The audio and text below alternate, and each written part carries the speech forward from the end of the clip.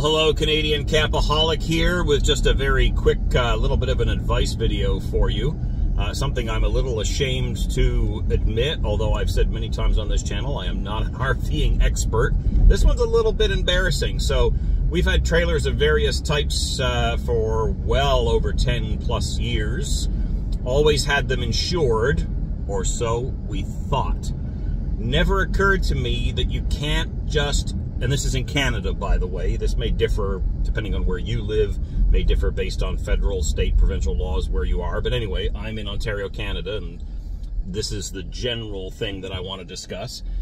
When you insure your trailer, if you're going to insure it through your auto insurance, oh God, this road's bumpy, sorry. It's a gravel road.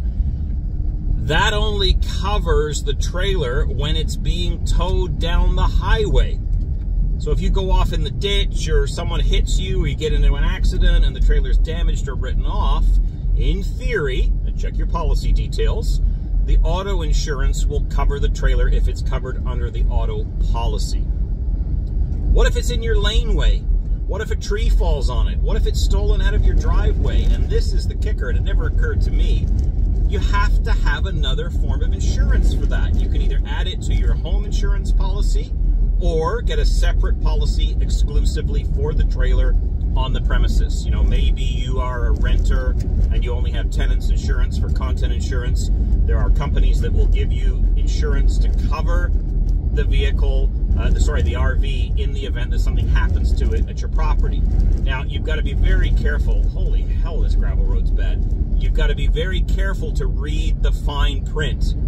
Uh, we signed up with an insurance company. I won't mention the name but the list of things it wouldn't cover was enormous. Now, there were weird things on there like nuclear war, uh, acts of terrorism, but there was an awful lot on there like floods and things that were also not covered. So read that fine print.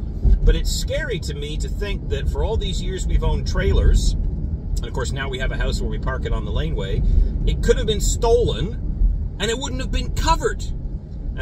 Know that the financing company would want to just keep taking my finance payments if they knew the trailer was toast or stolen. They'd probably want all their money in one lump sum and I'd be screwed. So the moral of the story, folks, is uh, please talk to an insurance professional, talk to a broker, talk to your insurance company. Get the scoop on what you need to properly insure your rig, whether it's a motorhome, fifth wheel, travel trailer, doesn't matter. Don't just get one type of coverage and assume everything is copacetic. It might not be.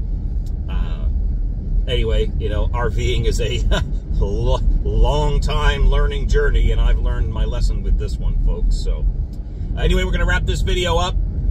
Camping season is going to kick off for us in about a couple of weeks here a little bit of maintenance to do on the trailer. We got an issue with the fridge. I got to change the sensor in the fridge, stop it freezing everything. Got to flush the water system, do all my spring maintenance. Uh, there's a channel, a video on the channel rather already that talks about spring maintenance uh, from last year. Uh, but anyway, hope you are having a great uh, spring and you've got some camping booked. We'll talk to you later.